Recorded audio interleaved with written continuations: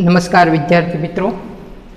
ધોરણ બાર સાયન્સ, વિષય રસાયણ વિજ્ઞાન, યુનિટ ચૌદ. આપણે મિત્રો સૌ પ્રથમ આમાં જે આપણા શરીરમાં જોવા મળતા જૈવિક અણુઓ જે છ હતા, બરાબર છે? પહેલું કાર્બોહાઈડ્રેટ, બીજું પ્રોટીન. બરાબર છે? આપણે મિત્રો કાર્બોહાઈડ્રેટ જે છે એ પૂરું કર્યું, સમગ્ર. કાર્બોહાઈડ્રેટમાં મિત્રો આપણે જોયું મોનોસેકેરાઇડ, ડાયસેકેરાઇડ અને પોલીસેકેરાઇડ હવે મોનોસેકેરાઇડમાં પણ જોયું ત્રણ વસ્તુ, બરાબર છે? ગ્લુકોઝ, ફ્રુક્ટોઝ એને ડિટેલમાં જોયા અને ગેલેક્ટોઝ. ત્યારબાદ ડાયસેકેરાઇડ જોયું સુક્રોઝ, માલ્ટોઝ, બરાબર છે? એની પછી આપણે જોયું મિત્રો પોલીસેકેરાઇડ, સ્ટાર્ચ, બરાબર છે? પછી સેલ્યુલોઝ, બરાબર? અને ગ્લાયકોજન. હવે મિત્રો આવે છે પ્રોટીન. આ ખાસ બધા વિદ્યાર્થીઓ યાદ રાખજો પ્રોટીન આ પોઈન્ટને પણ આપણે વ્યવસ્થિત અને સારી રીતે તમને યાદ રહી જાય મિત્રો, એવી રીતના આપણે ભણવાનો છે. ચાલો, હવે આપણે શરૂ કરીએ મિત્રો પ્રોટીન સંયોજનો. તમને મિત્રો અત્યાર સુધીનો આખો સમગ્ર કોન્સેપ્ટ પ્રોટીનનો ખ્યાલ હશે પણ અને ના પણ હોય. બરાબર છે? પણ આ આપણે પ્રોટીનનું પૂરું કરીએ, અભ્યાસ પૂરો કરીએ, ત્યારે સમગ્ર કોન્સેપ્ટ મિત્રો આપણને પ્રોટીન ભવિષ્યમાં બહાર પૂરું કર્યા પછી, પણ જ્યારે પણ આપણને કહેવામાં આવે કે ભાઈ પ્રોટીન, ત્યારે જે આપણે શીખવાડેલું હોય, વિદ્યાર્થી મિત્રો, તમને યાદ આવવા માંડવું જોવે બરાબર છે? તો આમાં મિત્રો પ્રોટીનની ડિટેલમાં ચર્ચા કરીએ. આપણે પહેલા ટેક્સ્ટબુકનું જે છે એ રીડ નહીં કરીએ. એ વાંચ્યું નહીં. પહેલા હું તમને પ્રોટીનનો ખ્યાલ આપું. પ્રોટીન છે શું? બરાબર છે? આપણા શરીરમાં મિત્રો પ્રોટીન જે છે, મુખ્યત્વે કાર્બોહાઈડ્રેટ્સ અને પ્રોટીન આપણે ખોરાકમાં લઈએ. જો તમારે મિત્રો તમારું શરીરનો બાંધો ખડતલ મજબૂત કરવો હોય, બરાબર છે? તો કાર્બોહાઈડ્રેટની સરખામણીમાં પ્રોટીન તમારે વધારે ખાવાનું મિત્રો. કાર્બોહાઈડ્રેટ, ઘઉં, બાજરો, બટેટા જે આપણે ચોખા ઘણી બધી વસ્તુ છે કે જેમાંથી કાર્બોહાઈડ્રેટ મળે. પણ આપણા શરીરનો બાંધો, ખડતલ અને મજબૂત કરવો હોય મિત્રો, બરાબર છે? અને આપણે વજન આપણો થોડો ઓછો કરવો હોય તો આપણે શું કરવું પડે? તો કે કાર્બોહાઈડ્રેટને બદલે શું કરવું પડે મિત્રો? પ્રોટીનને વધારે ગ્રહણ કરવો પડે. બરાબર છે? તો આપણો બાંધો છે મિત્રો મજબૂત થાય.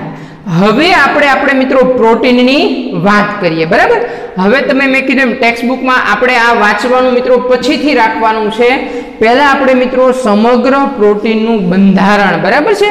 પહેલાં પ્રોટીનને જાણીએ આપણે. ચાલો જુઓ. તમે બધા, ચાલો આ આકૃતિ ઉપર ટેક્સ્ટબુક ઉપર, બરાબર છે? ચારસો ને ચોવીસ પેજ નંબરની મિત્રો આ આકૃતિ ઉપર બધા જ આવી જાઓ. તમારી ટેક્સ્ટબુકમાં હું તમને સમજાવું મિત્રો પ્રોટીન બરાબર છે? પ્રોટીન અને એક આપણે ઉદાહરણ પણ જોઈએ. હવે જુઓ મિત્રો પ્રોટીન છે ને પ્રોટીન આ ઉદાહરણ તરીકે મિત્રો, આ છે પ્રોટીન હોય. શું હોય આ મિત્રો? પ્રોટીન બરાબર છે? પ્રોટીન હવે આપણે આગળ જોઈએ મિત્રો. આપણે લખ્યું છે પ્રોટીન બરાબર છે? ચાલો, હવે આપણે જોતા જઈએ સેજ. ચાલો, આપણે આ બાજુ લખીએ. Protein protein. બરાબર છે? ચાલો, હવે આ પ્રોટીનમાં કોઈક આપણે અણુ મિત્રો ધારી લઈએ. ચાલો, પ્રોટીનમાં કોઈક અણુ ધારી લઈએ. જુઓ, આ ઉદાહરણ તરીકે એક પ્રોટીનનો નાનકડો અણુ છે. પ્રોટીનનો નાનકડો અણુ છે. હવે એમાં શું હોય મિત્રો, જોજો. એની અંદર આ પ્રોટીનનો નાનકડો અણુ છે મિત્રો. ખાસ યાદ રાખજો, પ્રોટીનનો નાનકડો અણુ છે. હવે એમાંથી પ્રોટીનમાંથી જો આ નાનકડા અણુમાંથી મિત્રો. એક વાળું મિત્રો, આવું જો ગૂંચળા વાળું એક મોટું સંયોજન હોય જો મિત્રો. આ વાળું એક સંયોજન છે. બરાબર છે? આ એક મોટું ગૂંચળું છે. તમે મિત્રો આ પ્રોટીનનું ડિટેલમાં જાઓ, બરાબર? અને સૂક્ષ્મ રીતે તમે એને જુઓ. તો પ્રોટીનનું આવું લાંબી સાંકળ, આપણે કેમ મિત્રો ઉત્તરાયણ હોય, તો દોરો હોય દોરો. બરાબર છે? એની ઘૂસ થઈ જાય, એની ઘૂસ થઈ જાય. પછી એને ઘૂસ કરી જ નાખો, સાવ કરી જ નાખો, સાવ કરી જ નાખો, તો એક નાનકડી ગોળી બને મિત્રો દોરાની, બરાબર છે? તો એ નાનકડી ગોળી છે દોરાની મિત્રો, એને આપણે શું માની લઈએ તમે? આપણે પ્રોટીન માની લઈએ, બરાબર છે? પછી સહેજ એને મિત્રો આમ ખુલ્લું કરો એ ઘૂસ જે છે મિત્રો, ઉત્તરાયણમાં જે દોરાની આપણે ઘૂસ થઈ જાય, એને સહેજ ખુલ્લી કરો મિત્રો, બરાબર છે?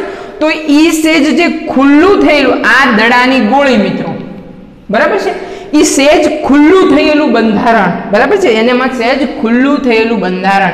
એને મિત્રો પ્રોટીનનું ચતુર્થક બંધારણ કહેવામાં આવે. શું કહેવામાં આવે? પ્રોટીનનું ચતુર્થક બંધારણ. ચાલો આપણે આગળ વાત કરીએ. હવે આ મિત્રો તમે ઘૂસ જે દોરાની છે થોડીક છૂટી કરી, બરાબર છે? એનું ચતુર્થક બંધારણ. હવે મિત્રો આગળ વધીએ.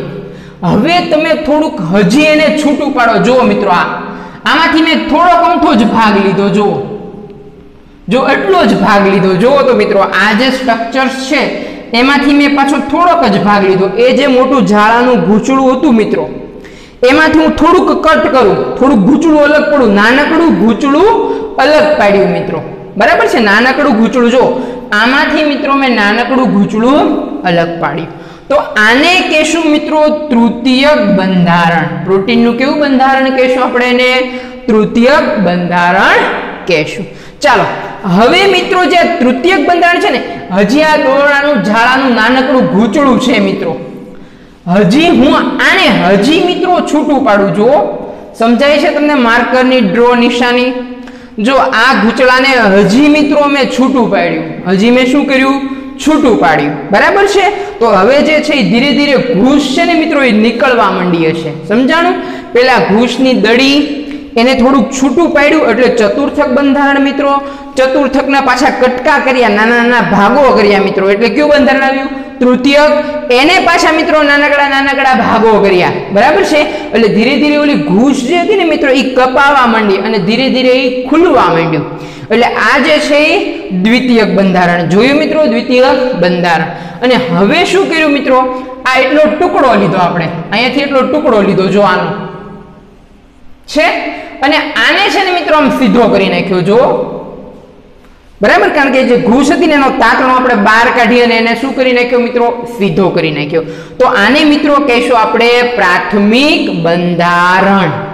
સમજાણું તમને? આ વાસ્તવમાં પ્રોટીનની ગોળી દડી એમાં ઘૂસ રહેલી છે મિત્રો. વાસ્તવમાં શું રહેલું છે? એક ઘૂસ. એ ઘૂસને આપણે પહેલું શું કહીશું? થોડીક છૂટી પાડીએ તો ચતુર્થક. એમાંથી કટકા કરીએ તો એવું બંધારણ મિત્રો તૃતીયક. એમાંથી કટકા કરીએ તો દ્વિતીયક. અને એમાંથી આપણે જો એક લાંબો તાતણો કાઢી નાખીએ મિત્રો, તો આ પ્રાથમિક બંધારણ કહેવાશે. હવે મિત્રો હું તમને પ્રાથમિક બંધારણનો ખ્યાલ આપું. પ્રાથમિક બંધારણનો જો અહીંયા તમે જોશો મિત્રો તો રંગબેરંગી લાલ, પીળા, સફેદ, કેસરી ગોળા આપેલા છે. સમજાણો આ તાતણામાં? આ તાતણામાં લાલ, ગુલાબી, રંગીન ગોળા આપેલા છે. બરાબર છે? તો આને આપણે મિત્રો આ એક એક ગોળો છે, આ એક એક ગોળો.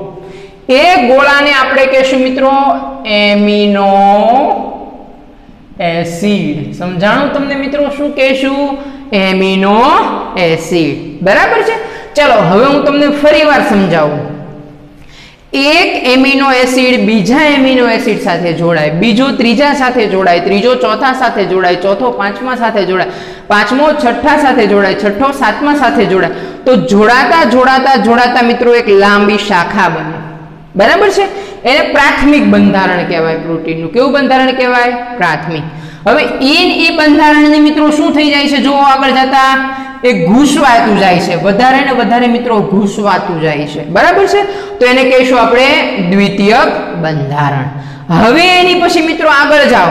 હજી ઘૂસ જટિલ બનતી જાય છે. જો આમાં આમાં ઘૂસ જટિલ બનતી જાય છે, તો એને તૃતીયક બંધારણ કહીશું. બરાબર? અને બહુ જટિલ ઘૂસ બની જાય મિત્રો, એટલે આપણે એને ચતુર્થક બંધારણ કહીશું. અને પછી આ ઘૂસનો હું બનાવી દેવાનો મિત્રો? નાનકડી દડી અને આ દડીને મિત્રો આપણે કહીશું પ્રોટીન. સમજાણું તમને શું કહેશું એને? પ્રોટીન. તો હવે હું તમને એક પ્રશ્ન પૂછું. બરાબર? કે પ્રોટીન છે, પ્રોટીન. એ શેનું બનેલું છે? પ્રોટીન છે એ શેનું બનેલું છે? તો તમે કહી શકશો કે ભાઈ આ જે નાનકડી દળી સાહેબ છે, બરાબર છે? એને છૂટી પાડો. આ પ્રોટીનની નાનકડી દળી છે, એને છૂટી પાડો. તો ચતુર્થક બંધારણ મળે, એને છૂટું પાડો થોડુંક, તો તૃતીયક બંધારણ મળે, એને થોડુંક છૂટું પાડો, તો દ્વિતીયક બંધારણ મળે, અને એને છૂટું પાડો મિત્રો, તો કેવું બંધારણ મળે? પ્રાથમિક બંધારણ મળે. આને છૂટું પાડતા જાઓ મિત્રો, એક એક ગોળી.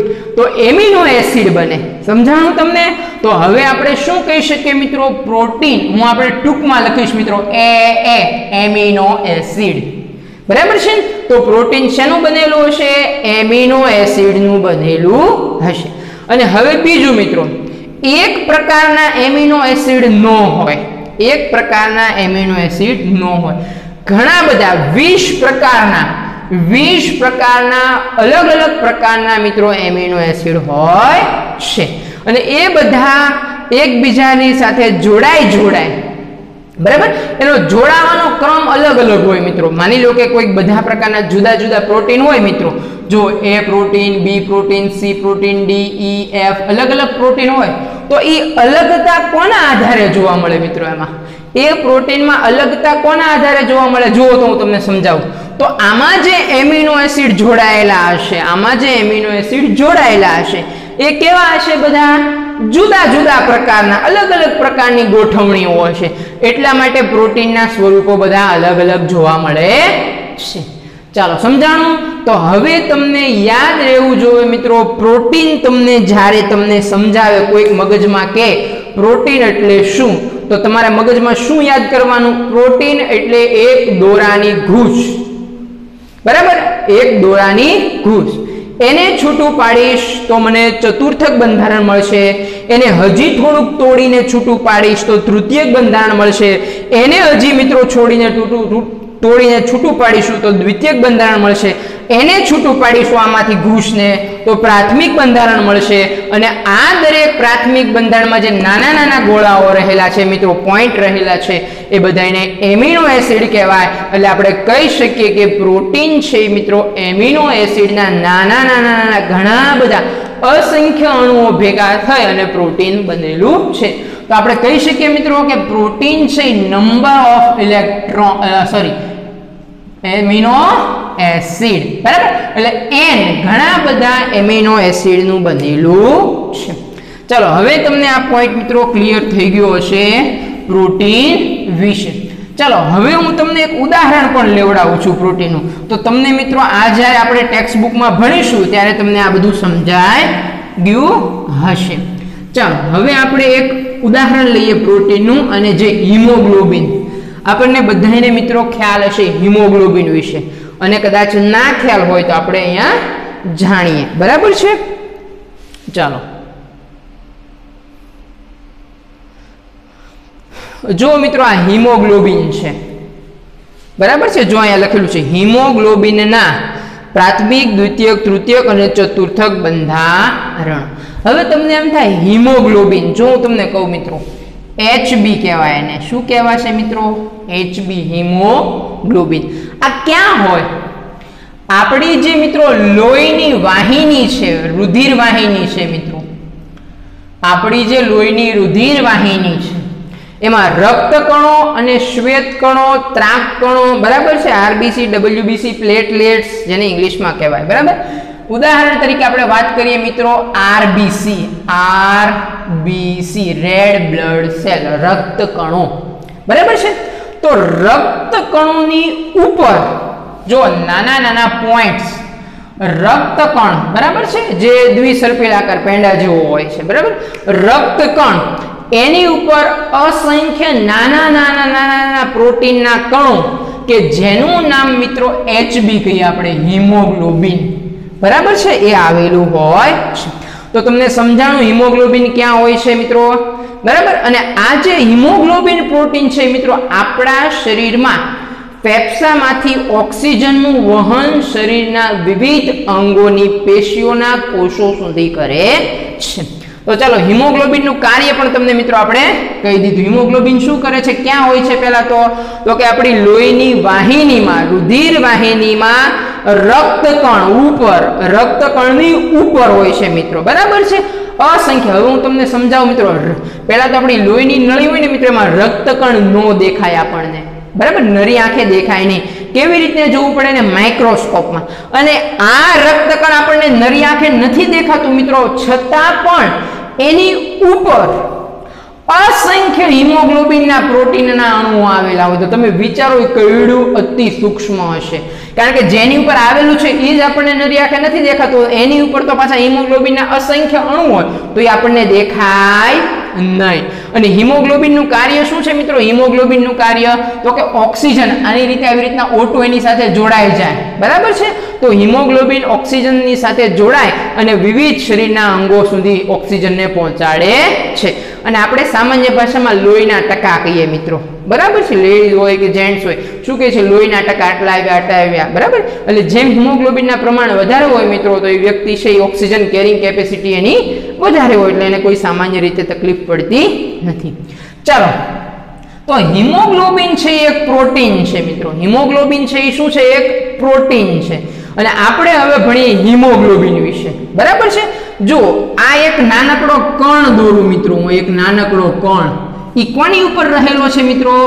આરબીસી. રેડ બ્લડ સેલ, રક્ત કણ ઉપર રહેલો છે. તો હવે જુઓ મિત્રો અહીં આપણે જોઈએ. બરાબર છે? તો આ જે છે એક નાનકડો પ્રોટીનની દડી છે. પ્રોટીનની દડી છે હિમોગ્લોબિન. એમાંથી જુઓ મિત્રો, આ ઘૂસ. છૂટી પાડી એને. બરાબર છે? તો જો આપણને શું મળ્યું? ચતુર્થક બંધારણ. શું મળ્યું મિત્રો આપણને? ચતુર્થક બંધારણ. હવે આ ચતુર્થક બંધારણને જો તમે શું દેખાડ્યું છે આમાંથી? જો તમે એવું એરો દ્વારા એવું બતાવે છે મિત્રો કે આમાંથી એટલો જ ભાગ લેવામાં આવ્યો. જો, એટલું જ ગૂંચળું લેવામાં આવ્યું. જો, આખું ગૂંચળું લેવામાં નથી આવ્યું મિત્રો. એટલું જ ગૂંચળું અહીંયા લેવામાં આવ્યું. તો આ શું થશે મિત્રો? તૃતીયક બંધારણ. શું થશે? તૃતીયક બંધારણ. હવે આપણને એમાંથી એવું કહે છે કે માત્ર એટલો જ દાંડલો લેવામાં આવ્યો. જો આટલો જ દાંડલો લેવામાં આવ્યો મિત્રો. ઊભો જે સ્તંભ જેવો છે, વળાકાર. જો આમાં આવી રીતના વળીયેલો છે એમાં. બરાબર છે? ચાલો. તો એને શું કહીશું મિત્રો? આને આપણે યાદ કરો, આ ઉપર પણ જોયું હતું આવી રીતના સર્પિલાકાર હોય છે મિત્રો. બરાબર છે? તો એ દ્વિતીયક બંધારણ છે. હવે મિત્રો આપણે આગળ જોઈએ પ્રાથમિક બંધારણ. શું જોઈએ છીએ? પ્રાથમિક બંધારણ. હવે એનો પણ મિત્રો આપણને ખાલી એટલો જ ભાગ કહે છે જો એટલો જ ભાગ જોવાનો છે તમારે જો તો આ જે છે એટલો જ ભાગ આપેલો છે. અને આ ભાગ શેનો બનેલો હશે મિત્રો? આ ભાગ શેનો બનેલો હશે? યાદ કરો? એમિનો એસિડનો. શેનો બનેલો હશે? એમિનો એસિડનો બનેલો હશે. અને આપણને અહીંયા મિત્રો રંગબેરંગી ગોળાઓ આપેલા છે. એટલે એવું કહે છે મિત્રો કે આવો રંગ હોય તો એ વાસ્તવમાં નાઇટ્રોજન છે. સમજાણું? આવો હોય તો ત્યાં કોઈક આર સમૂહ છે મિત્રો. તો આ રીતે આપણને રંગ આપેલા છે અહીંયા હિમ બરાબર છે, હિમોગ્લોબિન્સ જે છે હિમોગ્લોબિનનો કણ. બરાબર છે, હિમ હિમ સમૂહ હિમ સમૂહ. હિમને મિત્રો આયન કહેવાય. આની વચ્ચે અંદર આયનો રહેલા હોય એફી બરાબર છે? એની વાત કરે છે આપણને. ઓક્સિજન, હાઇડ્રોજન, કાર્બન, નાઇટ્રોજન અને આ સમૂહ. ચતુર્થક, તૃતીયક, દ્વિતીયક અને પ્રાથમિક બંધારણ. કોનું જોઈએ મિત્રો આપણે? હિમોગ્લોબિનનું હવે હું તમને બીજી વાત કરું. જો આપણે બધા જાણીએ છીએ કે જે વ્યક્તિને મિત્રો ડાયાબિટીસ હોય, ડાયાબિટીસ. બરાબર છે? એ ડાયાબિટીસ વાળો વ્યક્તિ જ્યારે ગળ્યું ખાય, ત્યારે એના શરીરમાં શું વધી જાય છે? ગ્લુકોઝ.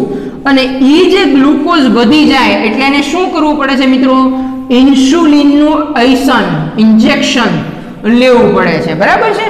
અને ઇન્જેક્શન ઇન્સ્યુલિનનું લેવું પડે. તો એ ઇન્સ્યુલિન વાસ્તવમાં છે શું? એ ઇન્સ્યુલિન વાસ્તવમાં મિત્રો પ્રોટીન છે. બરાબર? અને એ પ્રોટીન છે મિત્રો એમિનો એસિડનું જ બનેલું છે. ચાલો, હવે આપણે આપણી થિયરી જે છે મિત્રો વાંચવાની, બરાબર છે? એ આપણે શરૂ કરીએ. તો તમને ખ્યાલ આવી ગયો હશે, બરાબર છે? કે ભાઈ આ પ્રોટીન છે, એ શેનું બનેલું હશે? ચાલો.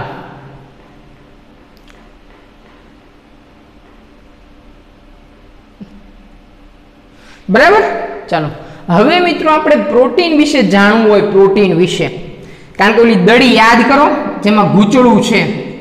એને જાણવું હોય તો સૌ પ્રથમ એ ગૂંચળું ઓછામાં ઓછું નાનામાં નાનું શેનું બનેલું હતું મિત્રો? એ એમિનો એસિડનું બનેલું હતું. ખબર? એમિનો એસિડના એક એક ગોળાઓ હતા. હતા ને? તો આને જાણવા પહેલા આપણે મિત્રો આ ગોળાને જાણવા પડે. જો હું તમને સમજાવું, કઈ રીતનું આપણે ભણવાનું હોય ખબર મિત્રો? પહેલા આપણે જો એમિનો એસિડ એ એ પહેલા મિત્રો આપણે એમિનો એસિડ એટલે ગોળા વિશે જાણીશું. સમજાણું તમને એમિનો એસિડ વિશે જાણીશું? પછી શું જાણીશું મિત્રો? તો કે એમિનો એસિડ એકબીજા સાથે જોડાય કઈ રીતે? ક્યાં બંધથી જોડાય? કેવી રીતના જોડાય? બરાબર? પહેલા જો શું જાણીશું મિત્રો આપણે? પહેલા આપણે જાણીશું બધા એમિનો એસિડ વિશે. જે વિવિધ પ્રકારના હોય, બરાબર? આપણની ટેક્સ્ટ બુકમાં 20 પ્રકારના મિત્રો એમિનો એસિડ આપેલા છે. હવે એ વીસ પ્રકારના એમિનો એસિડમાં પણ બે ભાગલા પાડવામાં આવે. એક આવશ્યક અને એક બિન આવશ્યક બરાબર છે? ઉપયોગી હોય આપણા શરીરમાં, બરાબર? આવશ્યક. અને આપણા શરીરમાં બનતા હોય એ બહારથી લેવા ના પડે એટલે એને બિન આવશ્યક કહેવાય. તો આજે મિત્રો એમિનો એસિડ વીસ અલગ અલગ પ્રકારના છે એ દરેક એમિનો એસિડનું આપણે બંધારણ જોવાનું છે. વિવિધ વીસ પ્રકારના એમિનો એસિડનો અભ્યાસ કરવાનો છે. ત્યારબાદ એ કઈ રીતે એકબીજા સાથે જોડાય એનો અભ્યાસ કરવાનો છે. એ જોડાય પછી જો જોડાય એટલે મિત્રો એકબીજા સાથે જોડાઈને લાંબી શૃંખલા બનાવે એટલે એનું કયું બંધારણ કહેવાશે મિત્રો? પ્રાથમિક. પછી તો કે એમાંથી થોડીક ઘૂસ થાય મિત્રો. તો એને કયું કહેશું? દ્વિતીય. પછી પાછું મિત્રો બહુ વધારે ને વધારે ને વધારે ઘૂસ થાય. તો એને કેવું કહેશું મિત્રો? તૃતીય. અને બહુ મોટું ગૂંચળું બની જાય મિત્રો. બહુ વધારે પડતી ઘૂસ થઈ જાય તો એને ચતુર્થક અને આ એક નાનો કણ બની જાય પછી. એટલે ટૂંકમાં કણ જોયા પણ આપણે જોયું. તો આને મિત્રો આપણે પ્રોટીન કહેશું. બરાબર છે? તો તમને આખો કોન્સેપ્ટ હવે પ્રોટીન વિશે મિત્રો ક્લિયર થઈ ગયો હશે. તો આપણે સૌ પ્રથમ, બરાબર? સૌ પ્રથમ આમાં આપણે મિત્રો ભણીશું પ્રોટીન વિશે, બરાબર? તો એમાં પ્રોટીનમાં પણ કોણ લઈશું? Amino acid. ચાલો આપણે પ્રોટીન વિશે વાંચીએ. હવે આપણો પોઈન્ટ શરૂ કરીએ. પ્રોટીન સંયોજનો જીવંત પ્રાણીઓમાં વિપુલ પ્રમાણમાં મળી આવતા જૈવિક અણુઓ છે. તો પ્રોટીન સંયોજનો છે મિત્રો, એ પ્રાણીના શરીરમાં મહત્વ, બરાબર? વધારે પડતા મળી આવતા જૈવિક અણુઓ છે. પ્રોટીનના મુખ્ય સ્ત્રોત, પ્રોટીન આપણને યાદ રાખજો મિત્રો, તમારે સારું મજબૂત બોડી બનાવવું હોય, બરાબર? તો પ્રોટીનને વધારે ખાવાનું. કોની સરખામણીમાં? કાર્બોહાઈડ્રેટની સરખામણીમાં. તો પ્રોટીનના મુખ્ય સ્ત્રોત દૂધ, બરાબર છે? પછી ચીઝ પછી કઠોળ, બધા જ પ્રકારના અલગ અલગ ચણા, મગ, વાલ, વટાણા, બરાબર છે? ત્યારબાદ મગફળી, જેને આપણે શીંગ કહીએ છીએ મિત્રો. બરાબર છે? પછી માછલી, માંસ વગેરે. એ પ્રોટીન સંયોજનોના છે એ મોટા સ્ત્રોત કહેવામાં આવે છે. ચાલો હવે જોઈએ. હવે મિત્રો હું તમને થોડુંક ટ્વિસ્ટ કરીને તમને હું લઈ જાઉં. જો તમને એમ થશે કે ઓહો, સર, આ કઈ રીતે થતું છે બધું? ચાલો જોઈએ, થોડીક વસ્તુ અલગ છે. આપણી ટેક્સ્ટ બુક કરતાં થોડીક અલગ, ભલે થોડીક વાર લાગે. તમે મિત્રો ઉદાહરણ તરીકે મગફળી ખાધી અથવા કઠોળ ખાધું? ચાલો મિત્રો, આપણે કઠોળ લઈએ, કઠોળ. કઠોળમાં પણ ચાલો એક ઉદાહરણ લઈએ, ચણો. બરાબર? ચણા. તમે મિત્રો ચણા ખાધા. બરાબર છે? જો કઈ રીતે વસ્તુ બને છે મિત્રો? આ તમારું મિત્રો જઠર. આપણે પાચન તંત્ર નથી દોરવું આપણે બહુ વધારે વાર લાગી જશે મિત્રો. તો આપણે માત્ર પાચનતંત્રને અહીંયાથી જઠરથી લઈ અને મોટું આંતરડું, નાનું આંતરડું અને મળાશય ને મળદ્વાર એવી રીતના આ કોલોન ઝડપથી ડ્રો કરી નાખીએ. ચાલો મિત્રો, હવે જુઓ. જ્યારે તમે મિત્રો મું માટે ચણાને લ્યો ચણો પ્રોટીનમાં વધારે હોય, જો તમને એમ થાય કે ચણામાં પ્રોટીન જ હોય, નહીં. કાર્બોહાઈડ્રેટ પણ હોય. બરાબર છે? બંને વસ્તુ હોય. પણ પ્રોટીનનું માત્ર આપણે એને પ્રોટીનના સ્ત્રોત તરીકે પણ એને ગ્રહણ કરી શકીએ. કારણ કે ઘણી વાર મિત્રો માની લો કે આપણે ચોખા હોય, તો એમાં માત્ર સ્ટાર્ચ બરાબર છે કાર્બોહાઈડ્રેટ જ હોય. એમાં પ્રોટીન ન જોવા મળે. અને આમાં પદાર્થોમાં બંને વસ્તુ થોડી થોડી પ્રમાણમાં હોય. પણ એ તમારે જાણવું જરૂરી રહ્યું મિત્રો કે એમાં કેટલું પ્રમાણ કોનું છે અને કેટલું. અને તમને નેટમાં સરળતાથી બધી વસ્તુ મળી જાય કે કયા પદાર્થમાં જે આપણે ખાઈએ છીએ. એમાં પ્રોટીન કેટલું છે, કાર્બોહાઈડ્રેટ કેટલું છે, ઓઇલ કેટલું છે, બધું આપણને નેટ ઉપર મળી જાય મિત્રો. ઉદાહરણ તમે તરીકે મિત્રો અહીંયા તમે ચણાને ગ્રહણ કરો. શેને ગ્રહણ કરો? ચણાને. ઓકે. ચણામાં શું રહેલું છે મિત્રો? પ્રોટીન. તો ધીરે ધીરે ધીરે ધીરે મિત્રો અહીંયા આવશે અહીંયા આવશે અને એનું પાચન થશે. શું થશે મિત્રો? પાચન થશે. તો ધીરે ધીરે પાચન પ્રોટીનનું પાચન થાય. તો તમે દસમામાં અને નવમામાં ભણી ગયા. ધીરે ધીરે મિત્રો પ્રોટીનનું પાચન થાય ને, તો એમિનો એસિડ છૂટા પડે. શું છૂટા પડે? Amino acid. આ તમારા મિત્રો જે છે એ આમાં, બરાબર છે? એમિનો એસિડ ધીરે ધીરે મિત્રો છૂટા પડવા માંડ્યા. કારણ કે તમે ખાધું પ્રોટીનનો મોટો અણુ તમે એને ડાયજેસ્ટ કરશો, પાચન કરશો, એટલે ધીરે ધીરે એમિનો એસિડ છૂટા પડશે. એમિનો એસિડ છૂટા પડતા જાય પડતા જાય પડતા જાય. એટલે એમિનો એસિડ શું થશે મિત્રો? હવે એનું શોષણ થશે. શું થશે? શોષણ. તો આ જે એમિનો એસિડ છે ને, એ મિત્રો ધીરે ધીરે અહીંયા બ્લડ વાહિની હશે. લોહીની વાહિની. બરાબર? બ્લડ વાહિની હશે. એમાં ધીરે ધીરે આ એમિનો એસિડ શોષાશે. અને રુધિર મારફતે વહન પામી અને મિત્રો આ કોષમાં, આપણા શરીરનો કોષ એમાં જતા રહેશે એમ્યુનો એસિડ ક્યાં જતા રહે મિત્રો? આપણા કોષમાં જતા રહે. બરાબર છે? આ લાડ બધા એમ્યુનો એસિડ આપણા કોષમાં જતા રહ્યા. પછી આપણો જે કોષ છે, બરાબર? એ ધીરે ધીરે એ એમ્યુનો એસિડને વ્યવસ્થિત ગોઠવી અને પ્રમાણિત કરી અને એમાંથી આપણા શરીરને જે ઉપયોગી પ્રોટીન હોય મિત્રો, બરાબર છે? એનું અંદર નિર્માણ કરશે. સમજાણું તમને?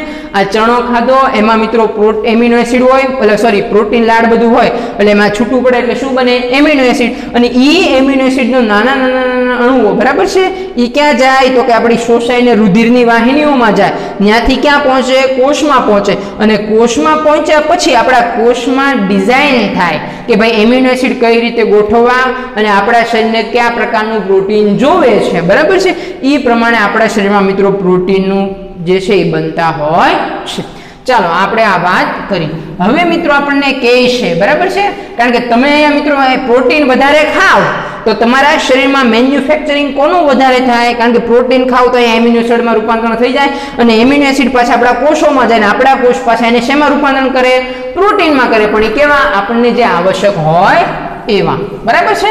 તો આવી રીતના મિત્રો આપણને આપણી શરીરમાં પ્રોસેસ થતી હોય. ચાલો, હવે આપણે આગળ જોઈએ. જો દૂધ, ચીઝ, કઠોળ મગફળી, માછલી, માંસ વગેરે છે. પ્રોટીન સંયોજનો શરીરના દરેક ભાગમાં હાજર હોય છે. આ પ્રોટીન સંયોજનો છે મિત્રો આપણા શરીરના દરેક ભાગમાં હાજર હોય છે. તથા જીવનના બંધારણ જીવનના બંધારણ અને કાર્યોના મૂળભૂત આધાર બને છે. એટલે આપણું જીવનનું બંધારણ પણ પ્રોટીન દ્વારા ઘડતર થાય અને આપણા વિવિધ મૂળભૂત કાર્યો છે મિત્રો, એ પણ પ્રોટીન દ્વારા બનેલા છે, એના દ્વારા થાય છે. શરીરની વૃદ્ધિ, એટલે આપણે જે મોટા થઈએ છીએ મિત્રો, એમાં પણ ભાગ ભજવે. શરીરની વૃદ્ધિ અને નિભાવ માટે પણ પ્રોટીન સંયોજનો જરૂરી છે. નિભાવ એટલે મેન્ટેન કરવા માટે મિત્રો. આપણા શરીરને જો વધવું હોય તો વધવા માટે પણ, અને નિભાવ એટલે એવી એવી સ્થિતિમાં રાખવો હોય તો એને મેન્ટેન કરવા માટે પણ મિત્રો પ્રોટીન જરૂરી છે. પ્રોટીન શબ્દ ગ્રીક શબ્દ છે, જેનો મતલબ પ્રોટીઓસિસ. બરાબર? પ્રોટીઓસ બરાબર? પ્રોટીઓસ પરથી. આ ગ્રીક શબ્દ મિત્રો છે અને એને પ્રોટીઓસ પરથી બનેલો છે. જેનો અર્થ પ્રાથમિક અથવા અતિ મહત્વપૂર્ણ થાય છે. અને આનો મતલબ મિત્રો પ્રોટીઓસનો મતલબ થાય છે પ્રાથમિક અથવા તો અતિ મહત્વપૂર્ણ. આપણા શરીરને જોતા પદાર્થ. બરાબર છે? બધા જ પ્રોટીન સંયોજનો. આલ્ફા એમિનો એસિડ સંયોજનોના પોલિમર પદાર્થ છે. હવે તમને મિત્રો થાય કે આલ્ફા એમિનો એસિડ સંયોજનોના પોલિમર પદાર્થ શું? તો એક વસ્તુ યાદ રાખજો, હમણાં હું તમને શીખવાડીશ જ કે આલ્ફા કોને કહેવાય? બીટા, ગામા અને ડેલ્ટા. તો હવે આપણે એમાં એવું જોઈએ મિત્રો કે આ જે બધું પ્રોટીન જે બનેલું છે આપણા શરીરમાં, એ કેવા પ્રકારના એમિનો એસિડનું બનેલું છે? આલ્ફા એમિનો એસિડ સંયોજનોના પોલિમર પદાર્થોનું બનેલું છે. બરાબર છે? ચાલો, હવે આપણે થોડાક આગળ વધીએ.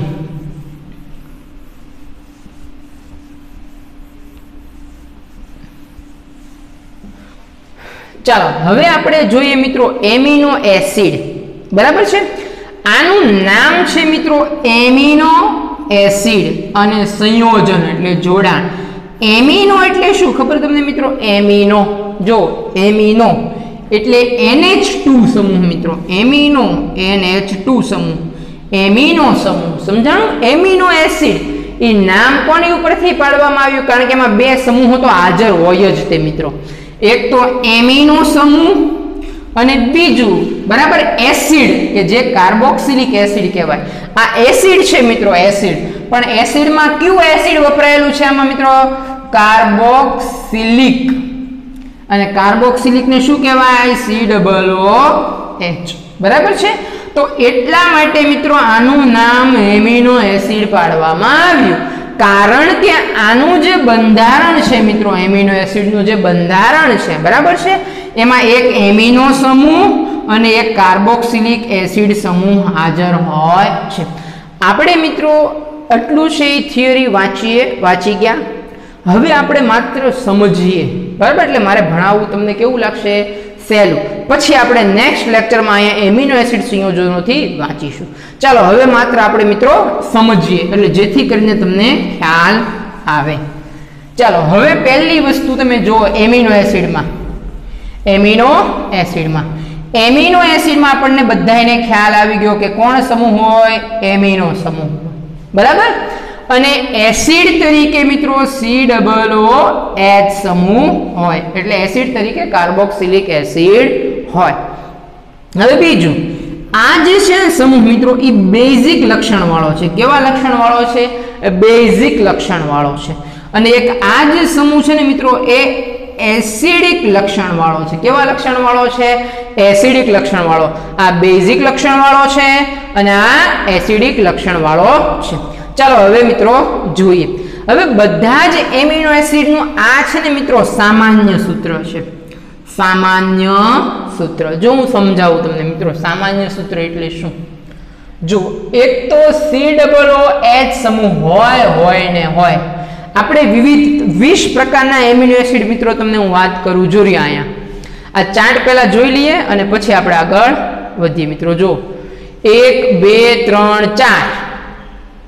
પાંચ, છ, સાત, આઠ, નવ, દસ, અગિયાર, બાર અને વીસ. જો સ્ટાર આવશ્યક એમિનો એસિડ બરાબર છે? અને જેમાં સ્ટાર નથી, એ બિન આવશ્યક એમિનો એસિડ છે. એ પણ હું તમને મિત્રો સમજાવું. ચાલો જુઓ મિત્રો. કેટલા પ્રકારના એમિનો એસિડ આપેલા છે આપણા શરીરમાં? વીસ પ્રકારના. બરાબર છે? વીસ પ્રકારના આપણી ટેક્સ્ટ બુકમાં મિત્રો એમિનો એસિડનો ઉલ્લેખ થયેલો છે. હવે જો એમિનો એસિડમાં મિત્રો કોમન શું હોય કોમન હમણાં આપણે એ જ જોતા હતા. તો કે એક તો સી ડબલ ઓ એચ સમૂહ હોય. જો હું તમને ફરીવાર મિત્રો બતાવું. બરાબર? એક એનએચ ટુ સમૂહ હોય. એક આર સમૂહ હોય અને એક એચ સમૂહ હોય. જો મિત્રો, જો બે રીતે દોરાય તમારે. બે રીતે કહી શકાય. આ બેઝિક છે મિત્રો. આ સી ડબલ એચ સમૂહ હોય. નેક્સ્ટ સી આપણે આને સીએચ પણ કહી શકીએ. એક NH2 ટુ પણ હોય અને એક આર પણ હોય મિત્રો. બરાબર છે? ચાલો આર શાખા. હવે એને બીજી રીતે આવી રીતના દોરાય. જો અહીંયા આપેલું છે મિત્રો આપણને. જો બીજી રીતે આમ પણ કહી શકાય. જો કઈ રીતે? આ ચોકડી જ મારી દીધી સીધી મિત્રો.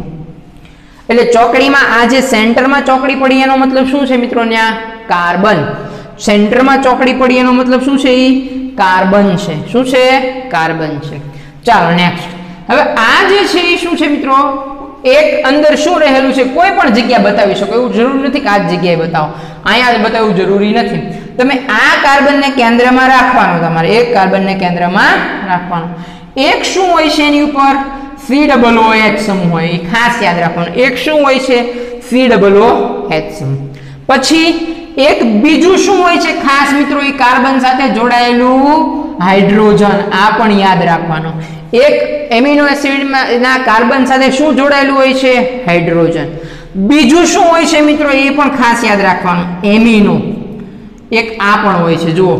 કેટલી વસ્તુ થાય? એક સી ડબલ એચ એક એનએચ ટુ અને એક એચ ત્રણ વસ્તુ તો હોય હોય અને હોય.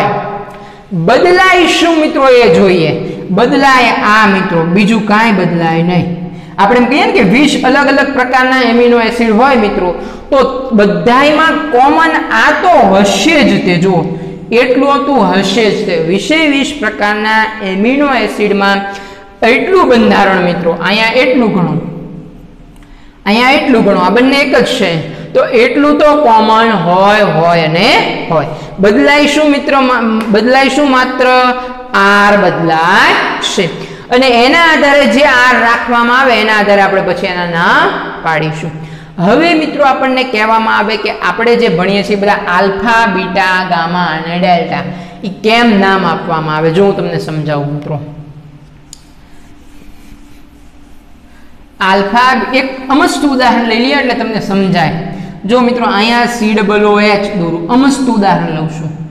ત્યારબાદ આપણે અહીંયા લઈએ છું સી એચ.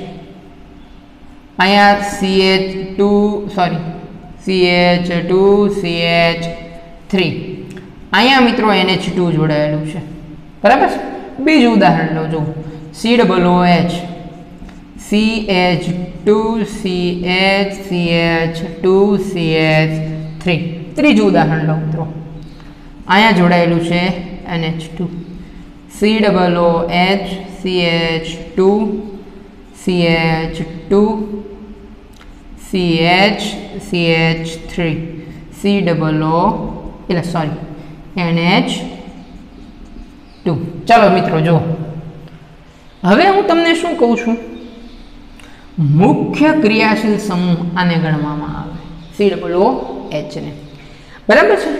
ઈ સી ડબલ ઓ એચ જે પ્રથમ કાર્બન સાથે જોડાયેલો હોય ને, મિત્રો, એને આલ્ફા કહેવાય. શું કહેવાશે? યાદ કરો તમે કાર્બોહાઈડ્રેટમાં મિત્રો નંબર આપતા હતા, ખબર?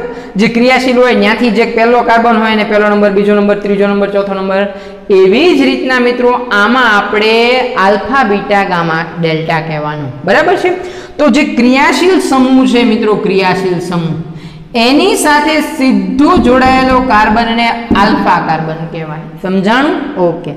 હવે જો આને આલ્ફા કહેવાશે અને બીટા કહેવાશે ડેલ ગામા અને ડેલ્ટા.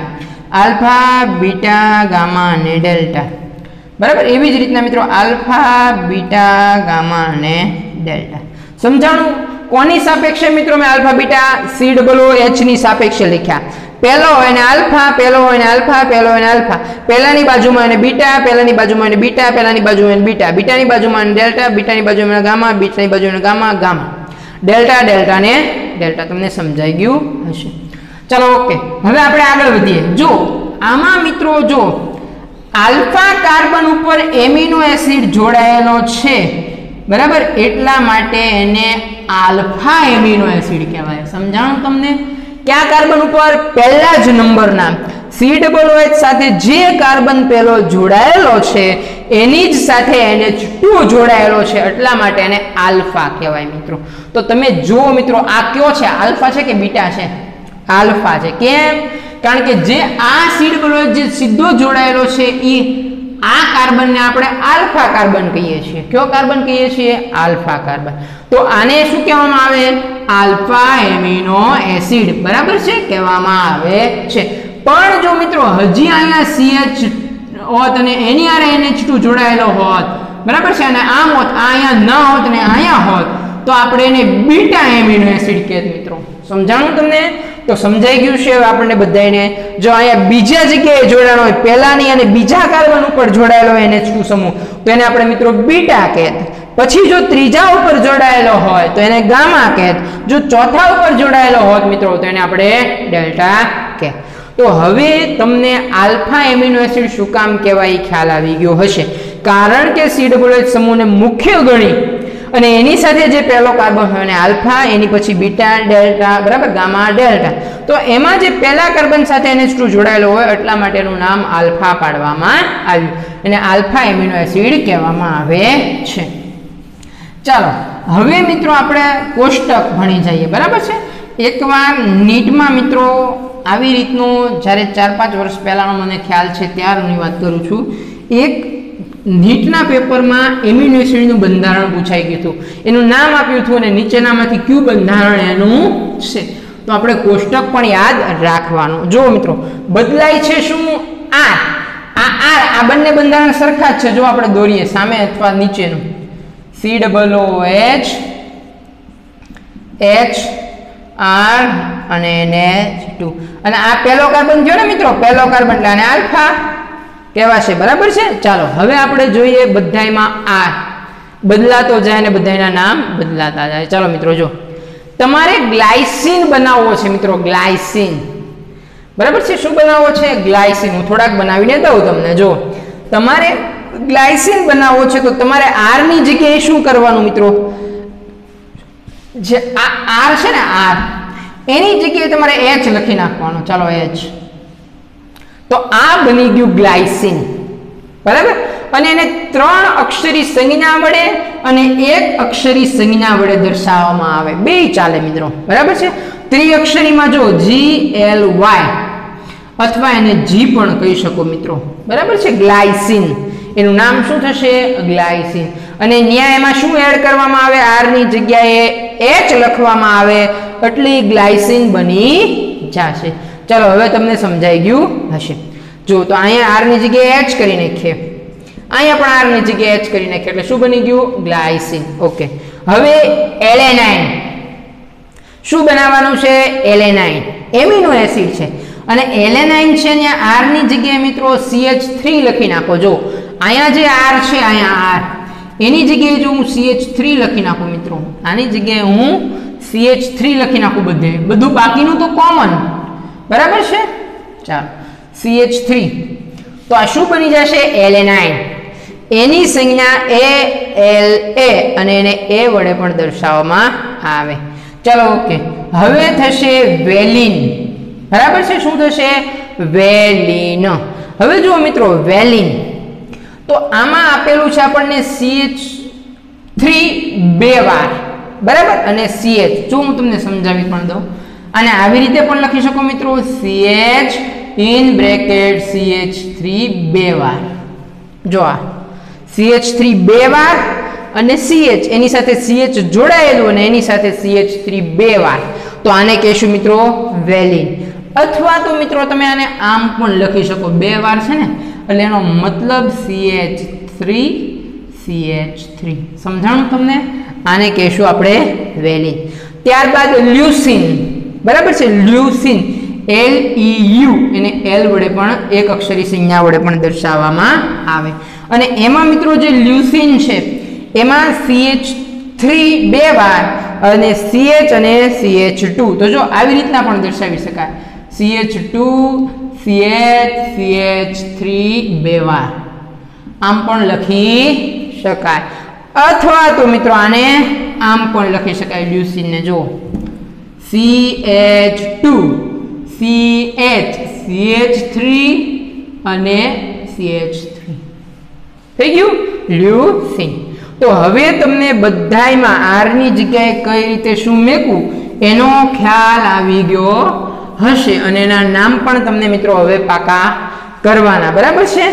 ચાલો આપણે આગળ જોઈએ. જો આ આઇસોલ્યુસિન આરની જગ્યાએ આવું મેકો એટલે મિત્રો શું થઈ જશે? આઈસોલ્યુસિન ચાલો આર્જિનિન બરાબર છે? આર્જિનિન આરની જગ્યાએ તમે મિત્રો આ મેકો તો આર્જિનિન બની જાય.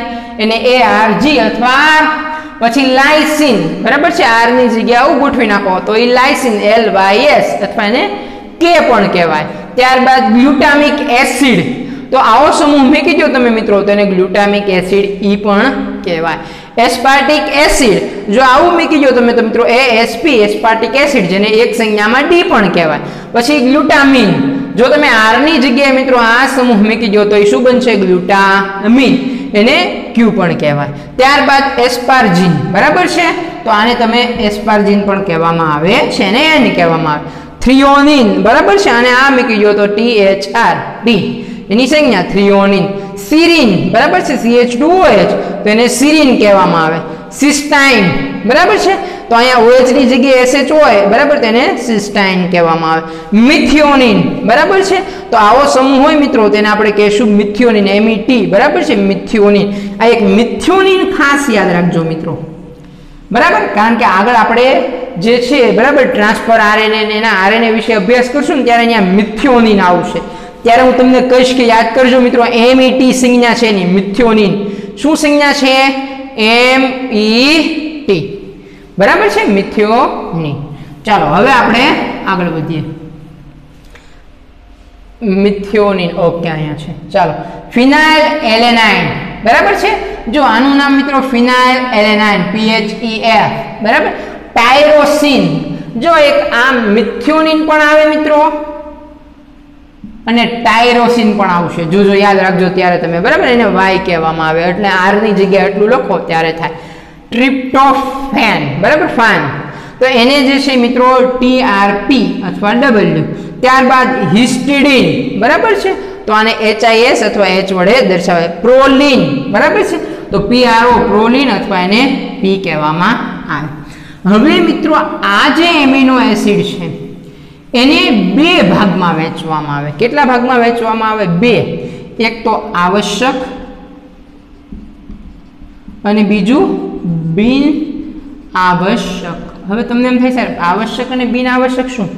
જેની ઉપર મિત્રો ફૂદડી કરેલી છે, જો એ આવશ્યક છે.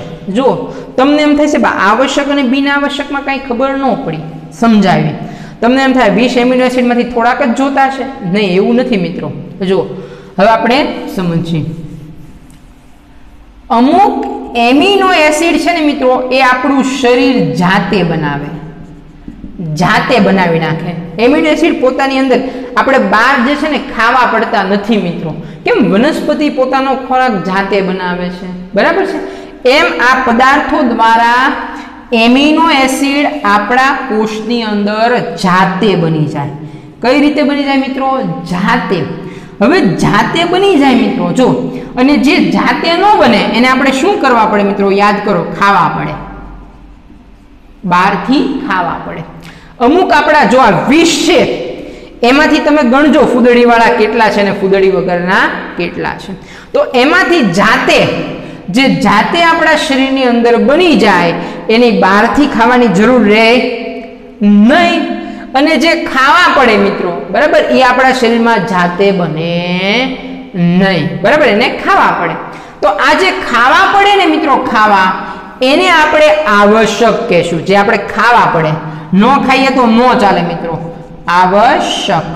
એને ખાવા પડે આપણે, એને આવશ્યક કહેવાય. પણ આપણા શરીરમાં જાતે એની મેળે બની જાય મિત્રો. એને ખાવા પડે ને એની મેળે જ અંદર થઈ જશે. આપણે કાંઈ ટેન્શન લેવાનું નથી.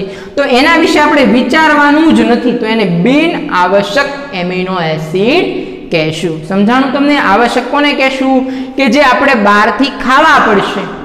બરાબર? એ આપણા શરીરમાં બનશે નહીં. એને આવશ્યક કહેશું. અને બિન આવશ્યક કોને કહેશું? કે જે આપણા શરીરમાં બની જાય છે અને એને બહારથી ખાવાના મિત્રો નથી.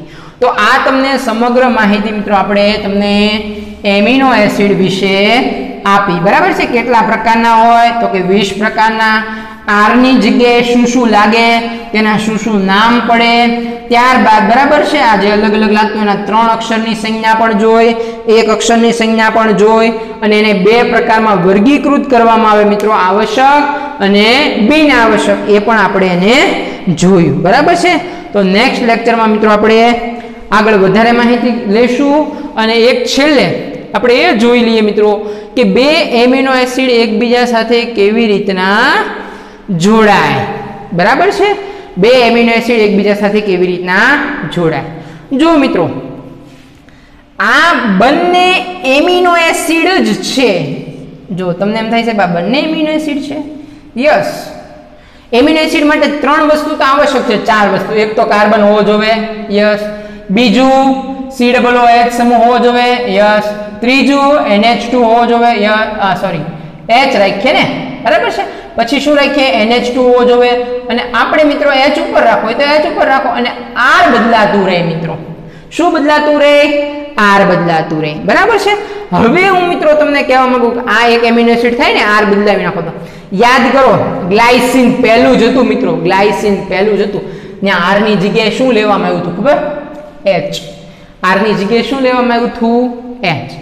પછી બીજું કદાચ એલેનાઇન હતું મિત્રો. જો બીજું શું હતું? જો આ એલેનાઇન. ત્યાં આરની જગ્યાએ મિત્રો CH3 લેવામાં આવ્યું હતું. સમજાણું તમને? જો અહીંયા અહીંયા એક એચ છે જ તે. આરની જગ્યાએ અહીંયા એચ લીધેલો છે. એટલે આ મિત્રો ગ્લાયસિન બની ગયું. શું બની ગયું? ગ્લાયસિન. અને આમાં મિત્રો જો એલેનાઇન, જો આ એલેનાઇન બની ગયું. સમજાણું તમને? અહીંયા કોણ લીધું? CH3 એલેનાઇન લીધું. ચાલો હવે મિત્રો આપણે નેક્સ્ટ લેક્ચરમાં આપણે જોઈશું.